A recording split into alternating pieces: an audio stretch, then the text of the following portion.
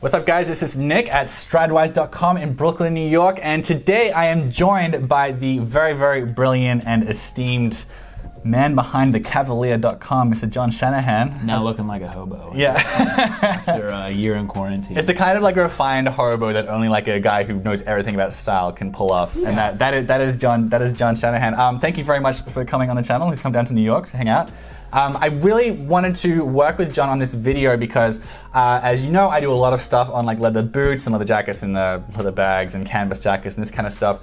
But I don't know an awful lot about like nicer leather shoes and that, and that sort of stuff, like on the on the less casual end of the spectrum. And right between those two areas, and Jon has a lot of expertise in like the the nicer area of fashion and building like a nice wardrobe from scratch.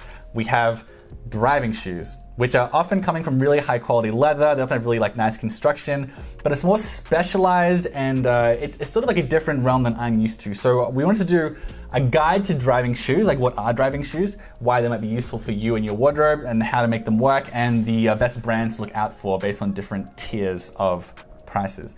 What's what's a driving shoe? That was a nice intro. what I like about drivers though is this in a similar way that boots have this heritage in a lot of like rugged style and and there's a heritage nature to boots that they were used for a certain purpose, right? They were used to protect your feet a lot of times in war, but drivers have that but on the racing side. So you you do get similar qualities where you're looking at you can get incredibly nice leathers in a driving shoe, but the purpose of them is to grip your foot to a pedal. That's what they're for. And so, whereas a boot, you might get it for construction, you might get it for outdoor work. A driving shoe, you're gonna wear this and it's gonna be the best thing you can wear to make sure your foot is comfortable, but also you have good grip on the pedal if you are racing. A lot of the best driving shoes also have like traditional materials and like kind of traditional construction as well, right? Like so, sort of in the same way where uh, if you really wanted to have the absolute best boot for work, like maybe you wouldn't even go with leather. You'd find some synthetic space age polymer or whatever else. Like you can get more advanced than like the traditional heritage materials, but there's also like a really nice middle ground you can get, which I feel like is what you can get with, with driving shoes as well, right? Yeah, and, this, and it, there's a similar like style spectrum with the drivers as well, where you're not really going to wear them in every scenario, and actually you can wear them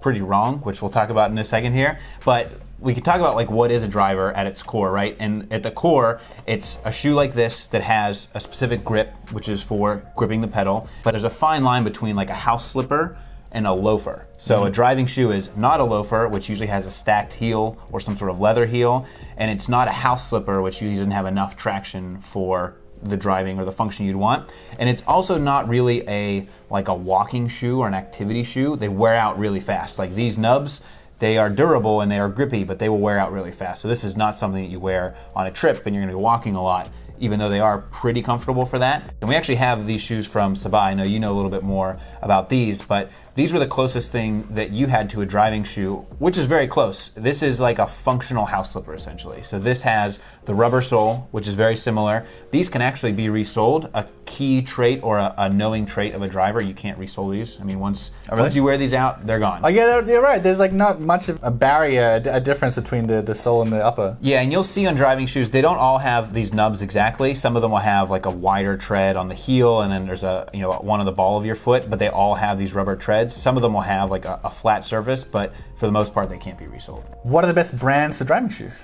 Well, there's three tiers, and you can go up, you know, as high as you want. So the the top of the top is Tod's Mocs. They really like invented the driving shoe. They're like the luxury option, but you can get a few for the under hundred dollar price point. Before I get into the, the brands, though, mm. I do want to specify that the driving loafer is very similar to the boat shoe in the number of ways that it is misused in the style world because it is not a dress shoe.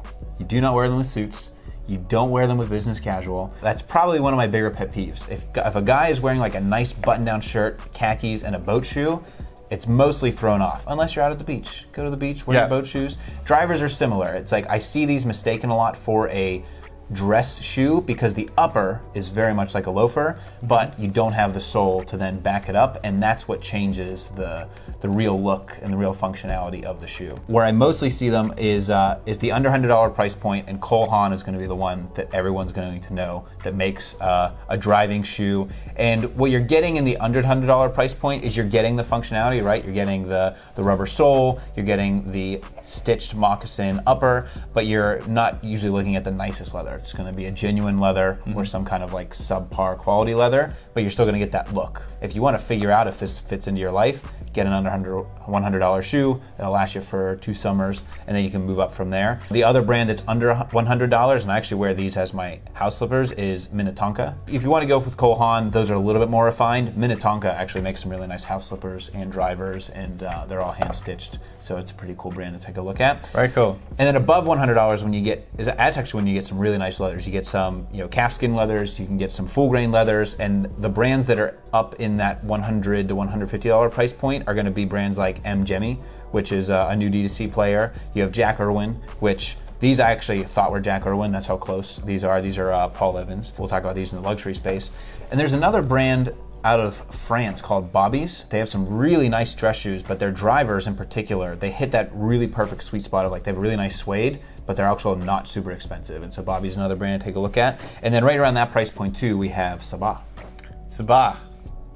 made, made in Turkey. Yeah, the, this Turkish leather. It's like, it's like it's like modeled after like traditional shoes um, from Turkey, and they're resolable, which is interesting. They're made with like one thread going all the way through it. Um, Yeah, you can see it on the outside and you can see it on the inside here. Yeah, yeah. So it's not exactly it's not the same as a lot of like uh, more traditional driving shoes, but you get like a decent amount of like rubbery grip here, and the upper is like it's really nice, interesting leather, a little bit more durable than like a lot of other driving shoes. Yeah. So some people might not consider it strictly a driving shoe, but this is this is the shoe that I have that is the closest to a driving shoe, and it can it can work pretty well in that regard as well. Yeah, this reminds me of a um, in, in Morocco they have slippers like this. Like Yeah. it's like the standard, and it's like this kind of silhouette is very standard there. Yeah. And then so w- going up in price, this is where I feel like you start to disconnect from reality a little bit. Is in the luxury Yeah, space. yeah. So Tod's Mox is really what pushed the driver as a shoe, and they have incredible leathers. I mean, if you look at them, wear them, smell them, like amazing. They're made in Italy.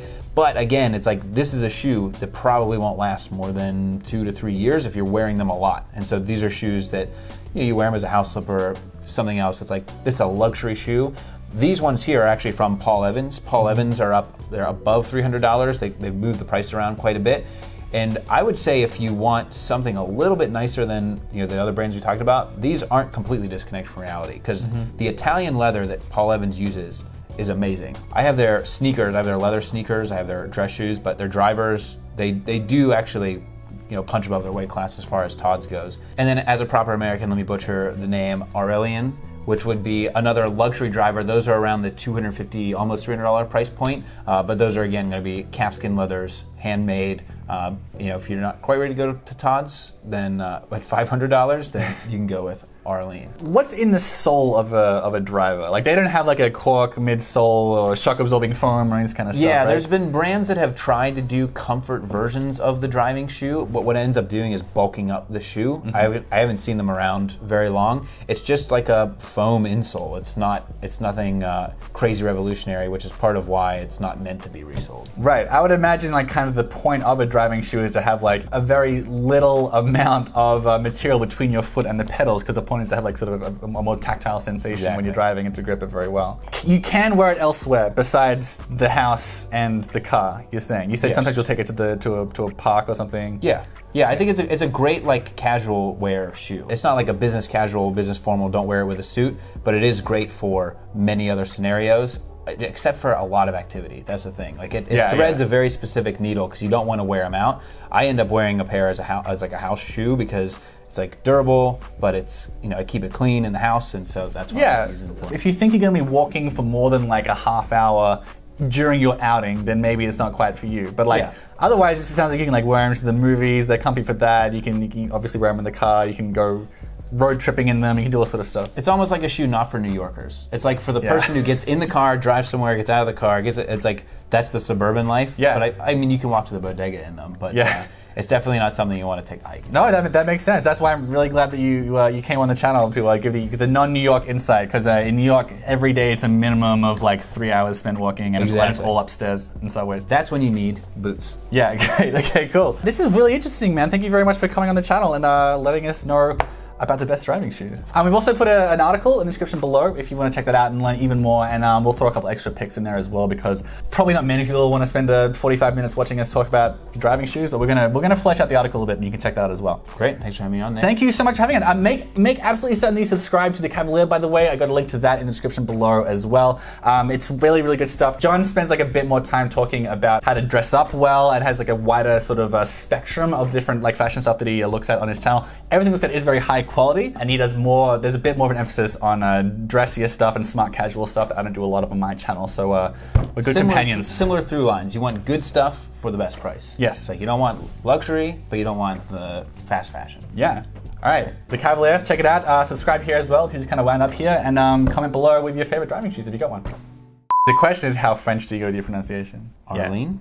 I would say Arlene? Aurelian. Arlene? It's it's it's Aurelien, Aurelien? Aurelien? but, but I would say Aurelian. I think you can get away with that. okay. Or you can say Aurelien. You can, that's that's that'll balance it out. Okay.